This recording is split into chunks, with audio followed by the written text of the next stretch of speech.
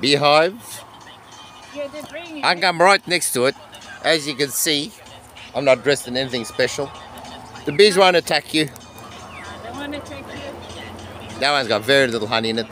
They're making, they're, they, um, pulling, they're making the, the holes. Then the queen comes. See, even I'm straight next to it. I've got nothing on. The bees won't attack you. It's just a fallacy. Yeah. They have no reason to attack you. That's what the coppers did. They stood out here and they want me to stir my bees up. See how far I am away? I come here. Look, see? No bee will bite me. Absolutely none. As you can see, look at me from top to bottom. Nothing. Now Rose is checking for honey. She's dancing and I'll dance as well. But uh, this fallacy that bees attack you, no they don't. They're quite friendly. They got pollen. This one's got pollen.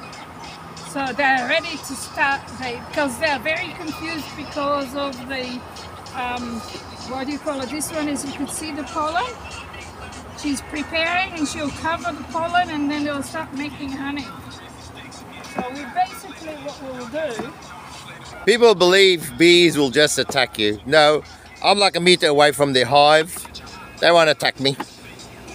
They have no reason to attack me. I'll put my hand right up close.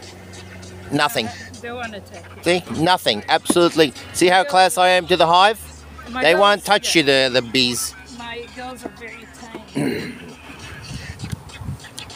I'm going to give them some fructose later. They get a little bit. Oh, I see what happened here. Needs to go a bit further more. This is the, there's the other hive.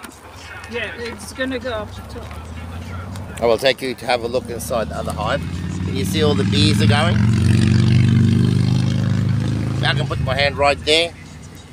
None of them will attack me. See? This is a fallacy uh, that bees will attack you. But the police officer wanted some bites.